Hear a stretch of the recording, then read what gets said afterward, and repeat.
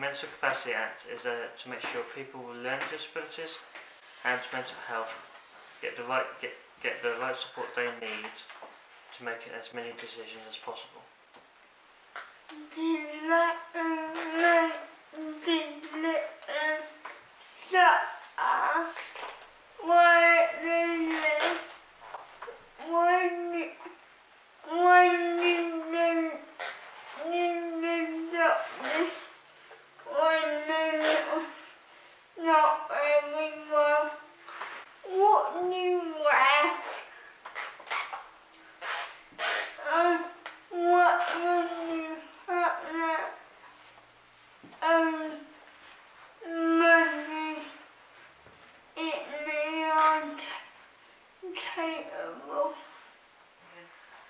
To make a decision, you must understand, remember, and think about the information and communicate the decision.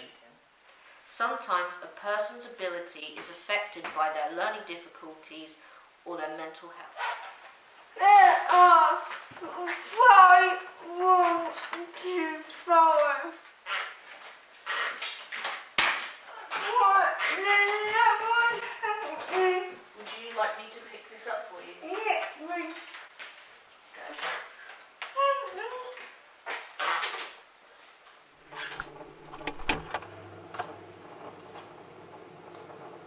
I have some chicken.